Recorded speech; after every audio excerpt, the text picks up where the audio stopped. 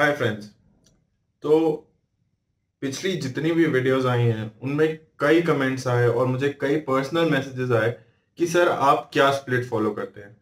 और कितने दिन वर्कआउट करना नेसेसरी है हफ़्ते में?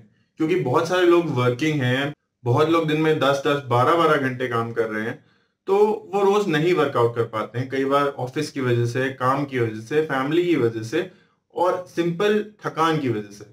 और मैंने अपनी पिछली वीडियोस में आपको बताया भी हुआ है कि अगर आप बहुत ज़्यादा थके हुए हैं you don't have to go to the gym वो फ़ायदा करने के बजाय नुकसान भी कर सकता है। तो एक्चुअल स्प्लिट क्या होना चाहिए? कितने दिन आपको वर्कआउट करने की ज़रूरत है? कितने दिन आपको रेस्ट दे लेना चाहिए? और कितने दिन वर्कआउट करके आपको मैक्सिमल रिजल्ट्स मिलेंगे? आज हम इस बारे में बात करेंगे।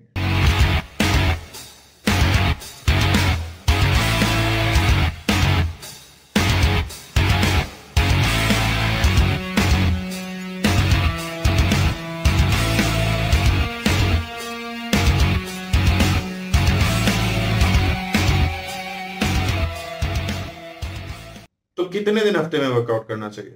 ये एक बहुत ही डाइसी क्वेश्चन है। आप अपने ट्रेनर से पूछेंगे तो वो आपको कुछ जवाब देगा।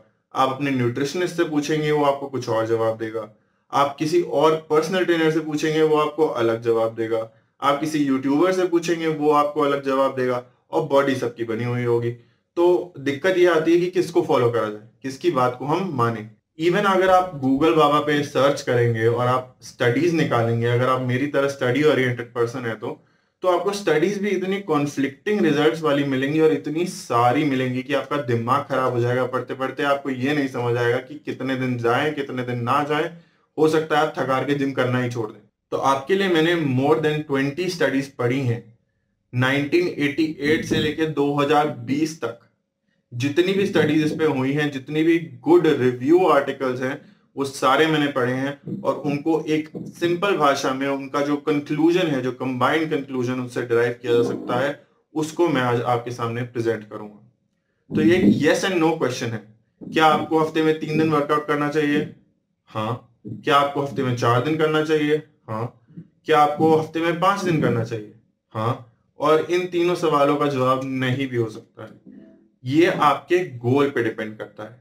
अगर आपका गोल फैट लॉस है तो आप हफ़्ते में चार या पाँच दिन भी वर्कआउट कर सकते हैं। That is just you burning off your calorie surplus तो उसमें पाँच या इवन छह दिन हफ़्ते में वर्कआउट करना is not a bad thing but अगर आप बिगिनर हैं, आपकी मसल अभी इतनी यूज़ टू नहीं है तो अगर आप अपनी वॉल्यूम ट्रेनिंग पूरी कर पा रहे हैं तो three days a week is also enough हफ़्ते में तीन दिन में अगर आप इनफ वॉल्यूम इनफ इंटेंसिटी और इनफ मसल ग्रुप्स को रिक्रूट कर पा रहे हैं तो तीन दिन भी आपको बहुत अच्छे रिजल्ट्स देगा।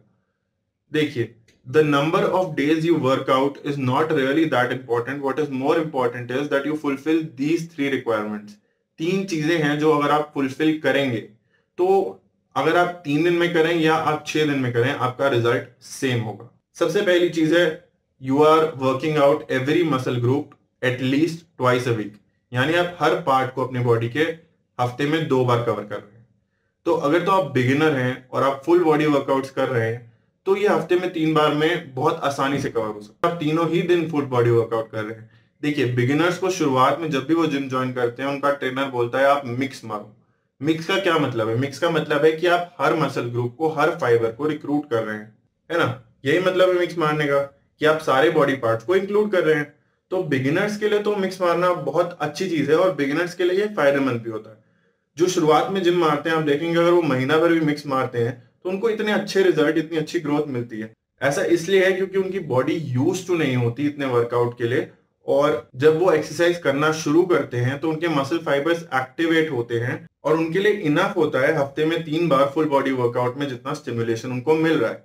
लेकिन जैसे जैसे आप एक एडवांस एथलीट बनते हैं, उतनी वॉल्यूम एक्सरसाइज की इनफ नहीं होती है मसल फाइबर्स को स्टिमुलेट करने के लिए। और एक एनहांस एथलीट एक प्रोफेशनल एथलीट और एक ट्रेंड एथलीट जो कुछ टाइम से जिम जा रहा है, उसके लिए सारे वर्कआउट्स में फुल बॉडी वर्कआउट करना एक बहुत बड़ी चीज़ होती है।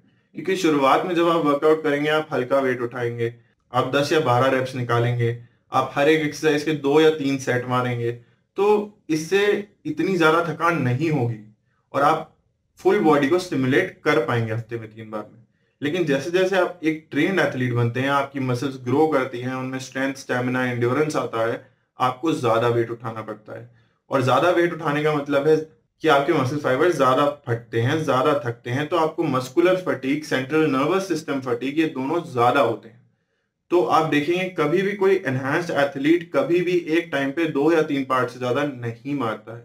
Full body workout usually train और एनहांस्ड एथलीट्स नहीं करते हैं। जो भी हाई लेवल पे बॉडी बिल्डिंग कर रहा है, वो एक टाइम पे एक या दो या मैक्सिमम तीन पार्ट्स पे फोकस करता है। वो कुछ ना कुछ स्प्लिट ज़रूर करता है, या चाहे वो पुश पुल स्प्लिट हो, चाहे वो ऑपोजिट मसल स्प्लिट हो, कि आपने एक दिन बाई ट्राई मार ली, एक दिन चेस्ट बैक मार ली, एक दिन शोल्डर लेग्स मार लिया, या ऐसा कोई कॉम्बिनेशन बना के। लेकिन दो या तीन पार्ट ज़्यादा एक टाइम पे नहीं, क्योंकि आपको अपनी वॉल्यूम पूरी करनी है।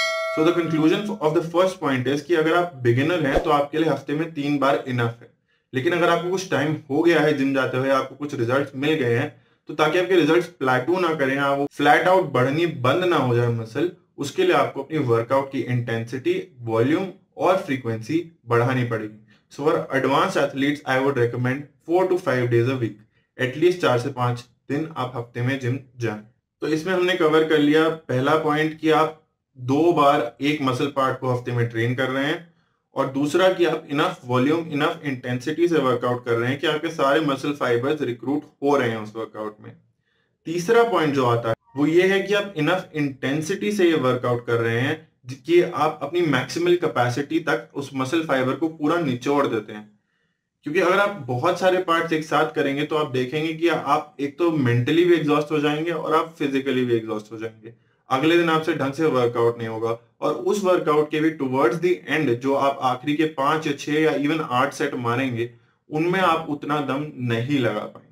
So it is better to divide your body parts accordingly and work on them separately ताकि आप इनफ वॉल्यूम अकोमोडेट कर पाए इनफ वेट उठा पाए इनफ लोड दे पाए और इनफ मसल फाइबर्स को रिक्रूट कर पाए। आपके सामने एक स्टडी रख रहा हूँ जिसमें क्लियरली लिखा है whether you workout three days a week और you workout six days a week दोनों में रिज़ल्ट बराबर होगा अगर ये तीन रिक्वायरमेंट्स फुलफिल की जा रही हैं। तो समराइज करते हुए इस वीडियो में जो हमने सीखी चीज़ें, वो ये थी कि आपको हर मसल ग्रुप को हफ़्ते में दो बार वर्कआउट करना है। आपको टू योर मैक्सिमल कैपेसिटी अपने सारे मसल फाइबर्स को इंक्लूड करना है, अपने सारे पार्ट्स को इंक्लूड करना है।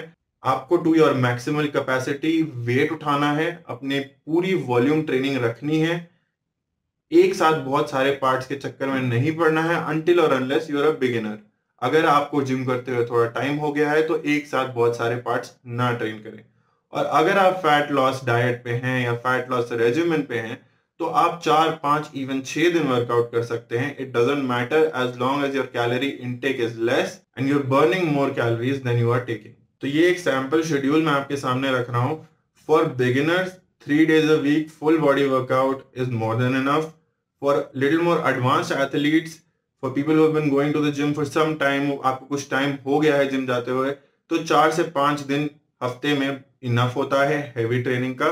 और people who are very high level athletes even using some performance enhancing drugs like steroids उनके लिए हफ़्ते में छह दिन भी वर्कआउट बहुत अच्छे रिजल्ट्स देगा।